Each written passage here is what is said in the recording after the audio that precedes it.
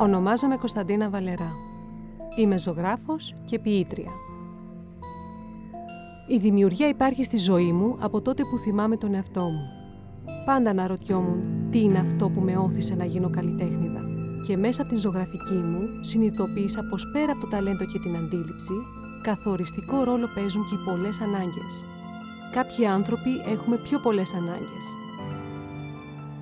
Την τέχνη την αντιλαμβάνομαι ως θεία ενέργεια που επιτρέπει στους ανθρώπους να επικοινωνήσουν σε άλλα διανοητικά πεδία. Η τέχνη για μένα γεννιέται εκεί που κάτι αποτυπώνεται από τα βάθη του εαυτού και αγγίζει τους αναγνώστες του. Δεν έχει σημασία τι ακριβώς συναισθήματα προκαλεί.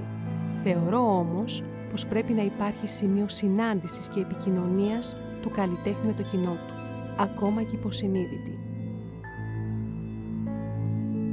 Η τέχνη για μένα είναι αναγκαίο αγαθό. Εκτονώνει και ημερεύει την ψυχή μου. Μέσα από την ζωγραφική και την ποίησή μου, έμαθα να παρατηρώ καλύτερα τον εαυτό μου και μπορώ να πω πως τον μαθαίνω συνεχώς, αποκαλύπτοντας τυχές που αγνοούσα την ύπαρξή τους.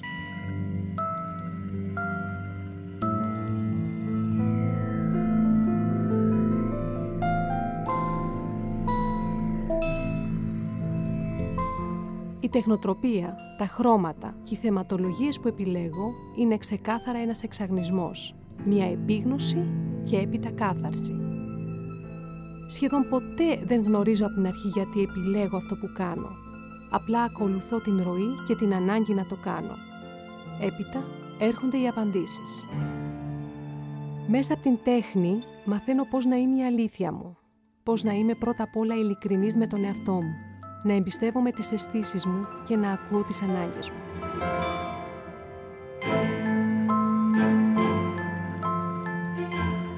Τα πάντα για μένα αποτελούν πηγή έμπνευσης. Από την ομορφιά ενός τοπίου μέχρι και την ασχήμια μιας πόλης. Μία λέξη, ένα τραγούδι, μία μελωδία, μία κατάσταση, ένα γεγονός. Όλα έχουν να σου διηγηθούν κάτι και ανάλογα με την εσωτερική ανάγκη, όπου αυτή μπορεί να μην είναι και συνειδητή, προφανώς θα εστιάσω εκεί που γίνεται ο αντικατοπτρισμός.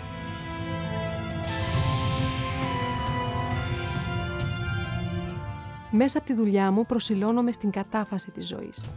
Αυτήν θέλω και να περάσω. Εστιάζω την προσοχή μου στο φωτεινό κομμάτι των πραγμάτων. Βέβαια αυτό δεν είναι πάντα ή σχεδόν ποτέ εύκολο τα δαιμόνια άγρυπνα καραδοκούν και οι εσωτερικές και εξωτερικές συγκρούσεις σου απορροφούν όλη την ενέργεια και πρέπει ξανά και ξανά να σηκωθείς. Όταν βρίσκομαι σε μια τέτοια ψυχική και σωματική φόρτιση, απλά την εκμεταλλεύομαι. Εκμεταλλεύομαι τους προσωπικούς μου δαίμονες και δημιουργώ. Και πάλι εστιάζω στην φωτεινή πλευρά των πραγμάτων. Και από εκεί αντλώ ενέργεια, αντλώ ζωή. Thank you.